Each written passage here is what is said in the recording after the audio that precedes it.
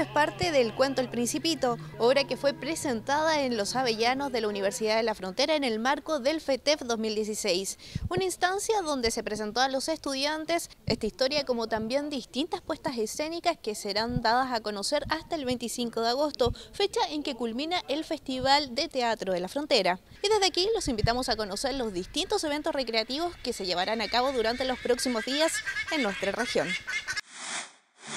El próximo 25 de agosto en la Universidad de la Frontera se desarrollará uno de los encuentros de teatro más importantes del sur del país. Se trata del FETEF, el que contará con presentaciones diarias en dos horarios, a las 11 y a las 20 horas. El de la mañana está dirigido a estudiantes de la región y la función de la tarde está abierta para todo espectador. Las presentaciones cuentan con compañías regionales y una de Santiago. La invitación es para todos los amantes del arte escénico a disfrutar de forma gratuita de más de una decena de obras de teatro en la Universidad de la Frontera. El artista nacional Mario Guerrero se presentará este viernes en Dreams Temuco a partir de las 22 horas, un espectáculo musical donde el cantante hará un recorrido por sus seis discos, además de la presentación de su nuevo single Fueron tus besos, que forma parte de su próximo álbum. La invitación es para todos los románticos a disfrutar de este show que es gratuito presentando su entrada al principal salón de juegos de la capital regional. En el mismo lugar, pero este sábado, se presentará Celedonio Núñez, el famoso comediante que ha recorrido el mundo sorprendiendo con su tributo a Cantinflas, el que lo ha llevado a triunfar en importantes escenarios internacionales. El ingreso es gratuito presentando su entrada a Dreams Temuco.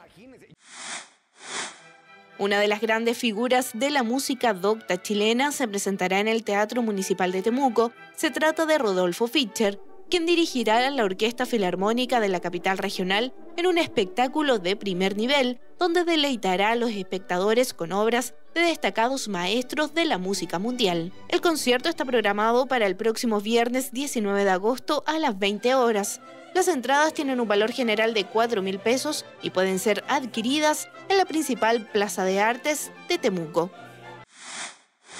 En la Dirección de Extensión y Formación Continua de la Universidad de la Frontera se encuentra la exposición de artistas europeos, colección privada del doctor Micha Fiala, que como se expresa en su nombre corresponde a una serie de creaciones originales de propiedad de este checo avecinado en Temuco, quien por segunda vez comparte esta rica variedad de trabajos con el público de la Araucanía. La muestra estará disponible hasta el próximo 19 de agosto en la sala de exposiciones de esta Casa de Estudios Superiores, el lunes a sábado, desde las 9 hasta las 19 horas.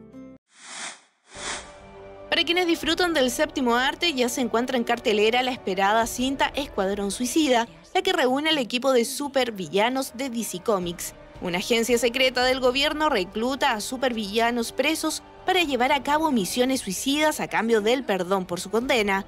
Las entradas y el horario de las funciones se encuentran disponibles en los principales cines de la capital regional. Solo se ve bien con el corazón, lo esencial es invisible a los ojos. Con esta frase del cuento El Principito los dejamos invitados a vivir del arte y la cultura que siempre está presente en nuestra región. Más información la puede encontrar en nuestra página web www.ufromedios.cl.